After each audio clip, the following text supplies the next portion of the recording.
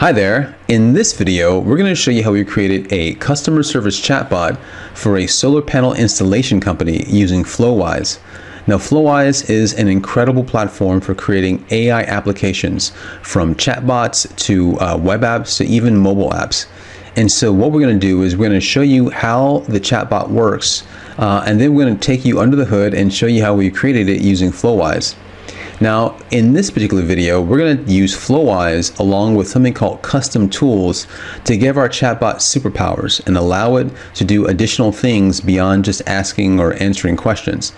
Now, this is a lot like OpenAI's assistants and their custom functions, uh, only if you have Flowise, you'll be able to create as many custom tools and, and agents as you want, whereas with OpenAI, you actually have to, um, when you do create your assistants uh, and you upload the information, uh, like your documents, I believe it's something like 20 or 30 cents uh, per day per agent. So, but uh, let's go ahead and show you basically how the chatbot works, and then we'll take you inside of Flowise uh, to show you how everything is set up. Now, in this particular case, our chatbot is going to be able to do three different things. Uh, one, it's going to be able to answer questions. And uh, two, it's going to be able to take quote requests and then send that information to our website um, or to our CRM and our Google Sheets. And then the third thing it's going to do is it's going to allow uh, the visitor to get a basic calculation for the cost of their um, of their uh, solar panel installation. Uh, so basically, we're going to be able to create a basic calculator uh, that's all going to be controlled by uh, our chatbot. So let's go ahead and take a look at uh, exactly what it's going to do here. So the first thing we're going to do is we can just ask a basic question. What does Aurora Solar do? And it should answer based on our uh, documents. So is uh, Aurora Solar is a company that specializes in residential solar panel installation. Okay, and now what we're going to do is we're going to request a quote.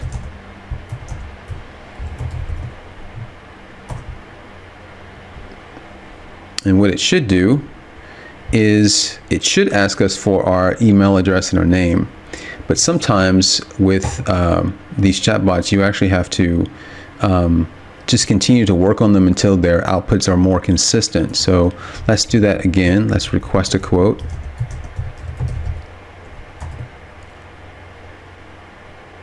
Okay, so we had to clear the um, we had to clear the uh, the chat, and uh, and now what we're going to do is we're going to just type in uh, let's see, Alexa,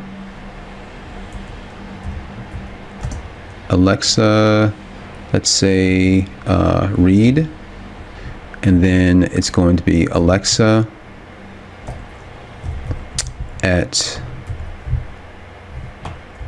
gmail.com And then in terms of power requirements each day that we need, we're going to say 25 kilowatts.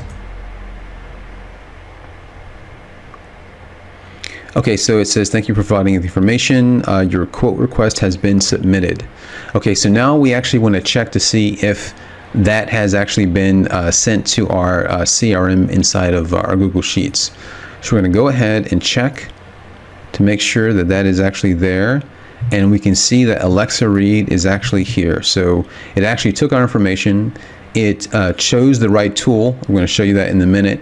Uh, and then it actually, through our automation uh, platform, we're using uh, N8N, it's like Zapier. Um, it actually went ahead and saved that inside of our Google Sheets. So the chatbot is actually working. So now what we want to do is we want to get a basic cost for the installation. So uh, we're going to say calculate estimate. And usually when you're setting up your chatbot, uh, what you really want to do is you want to uh, eventually give it additional like instructions or, or context so that it can actually um, choose your tool in a variety of different situations. So for right now, we're just going to say calculate estimate. And then it is going to ask us for it should ask us for our power requirement but because we've been working with this it's actually um, the conversation is already in its memory so we're going to actually go ahead and we're going to clear the chat Uh, this happens a lot when you're using with uh, chatbots. And we're going to try that again.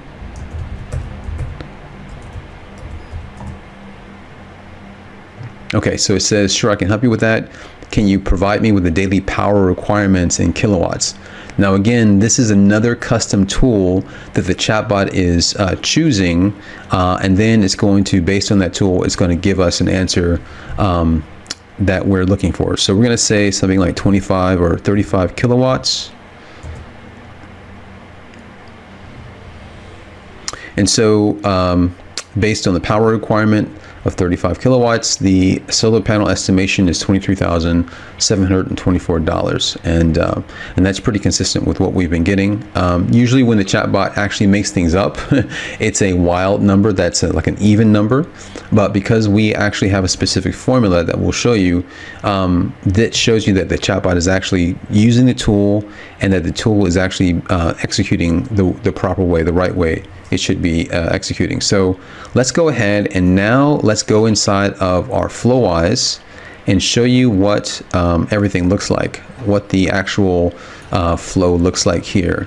So we have our uh, conversation retrieval agent that we're using, and that allows us to uh, choose multiple tools. And we have a few tools that we have connected uh, to our agent. Uh, and then, of course, we have normal memory and our um, our actual LL, LLM model, in this case, OpenAI. And so um, the first tool that we use, oh, and actually, so if you're thinking or you're asking, well, how do you get the um, the uh, the document retrieval um, um, modules? Basically, what you want to do so that you can actually answer questions from a document. Uh, what you want to do is you want to use the retriever tool and then you connect that uh, you connect your your vector uh, database to your retriever tool and your embeddings uh, module to your vector uh, module. And then this essentially operates like another tool uh, so that when you ask questions the chatbot will add, will actually use this tool rather than the other tools. So that's that's how you do that. But let's go ahead and actually look at uh, the request node and this is the uh, quote request that we used in the beginning. So we go ahead, and this is again is a custom tool, and if you want to know where the, the custom tools are, you basically just go to your add nodes here, and if you just type in custom, then you will um, you will come to the tool. It's under tool section here. Okay, so let's go ahead and actually take a look at our um, our request quote tool here and you'll see that in the beginning uh, it asks you for a tool name uh, which you'll need and then a description. And this description is very important because it allows you or it allows the chatbot to decide when to actually use the tool. So it's extremely important that you uh, you make it as descriptive as you can.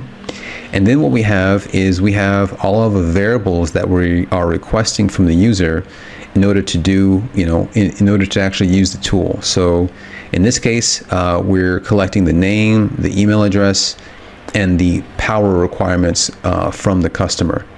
Uh, and then down below, we're actually making a, um, a uh, an HTTP request, a post request, um, and we're going to send this to um, our automation uh, platform N8N and we're going to show you that in a moment. But basically, what this does is it, it essentially collects the information and it contacts our webhook at N8N, and then N8N forwards that. So if we go ahead and show that to you now, the quote request is here. And as you can see, this is a lot like uh, Zapier, where you can connect to different um, different nodes and different applications.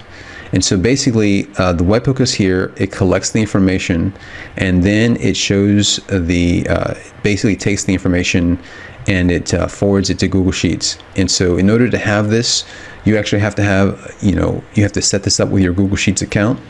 Uh, sometimes it takes a little while to play with things, uh, especially because what you're essentially doing is you are uh, passing the um, the information, your, your name, your email address, and your power requirements. You're saving these variables and then you are passing them into your Google Sheets. And so it's very important that you have this, um, you have these uh, variables entered and also that you already have an account set up uh, within N8N for your Google Sheets. So that's essentially how that works. And, um, and because this is already active, um, as soon as information comes in, you know, any time of the day, uh, that will go straight to your uh, Google Sheets. And so now what we want to do is we want to take a look at the other tool that we used, which is the, um, the calculate estimate tool, okay? And for this tool, we also used N8N um, to make a, um, uh, an HTTP uh, call, a post call, I believe. And so basically what we did was we have the same thing. We have the name, we have the uh, description of what happens, we have the um, variables that we need. So we need the power uh, request or the power uh, requirements. Um, this is not, let's see, let's see here.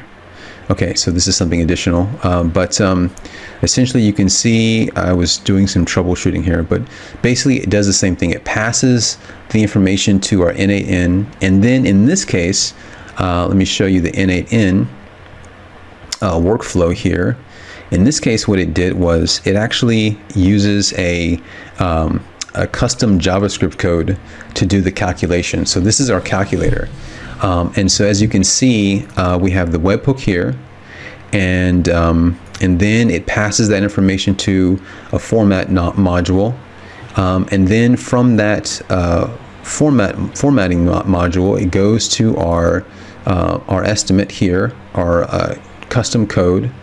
Um, and basically, we take our formula for calculating the um, the total cost of the solar panels, uh, and then we return the results back to our chatbot. So basically, it's responding back to our webhook, and uh, and then that chatbot will then take that information and um, and then give us the answer.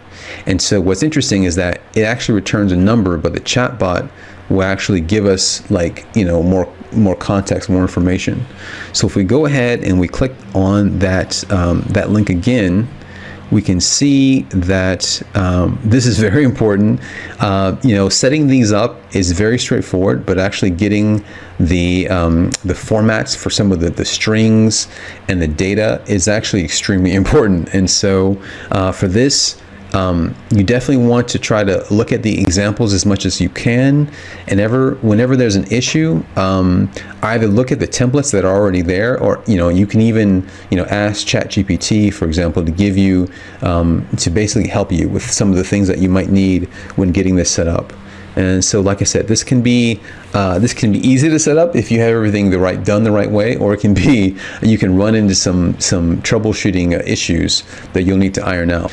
Um, but this is basically how you um, you set this up and how you can start to use custom tools.